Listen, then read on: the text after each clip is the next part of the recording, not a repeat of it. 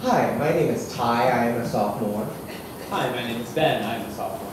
Hi, my name is Ariana. I'm a senior. Hi, my name is Nora, I'm a junior at Southwest. Where do I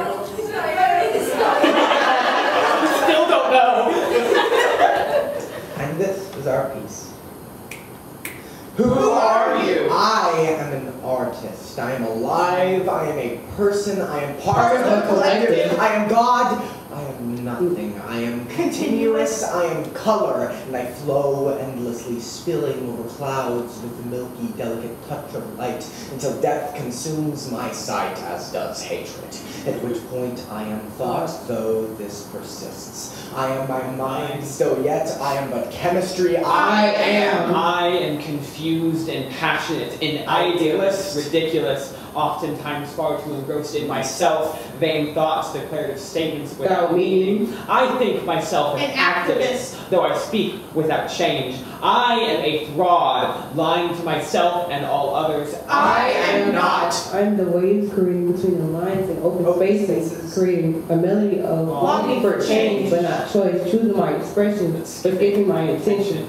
Hitting pause in my hitting pause in my thoughts collide while resting in indecision inside, exploring my the essence of my mind. I am the cadence beating against the walls of disparity, Disparity.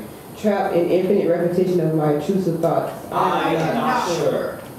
I have been asked the age-old question of Who are you? Well, who am I? Is who I am based on monetary Monetary value? value? If so, then it wouldn't be much. Is who I am is what what I've accomplished in the past? If so, why Why ask a 17 year old? when I have so much of a past when I don't have much of a past to spread my wisdom and so much of a future, Future that is left undecided that I can't even fathom who I am. I think and I think and then think about thinking. And despite my existential nihilism, I starve for love, understanding, and recognition. Through all the chaos, confusion, and unknowing, there is an odd, profound, off center beauty, and that I do not wish to die. I cannot name one honest thing about myself other than that I How value about you, my life. Mom? There's no thesis. We're just trying, Trying to get by.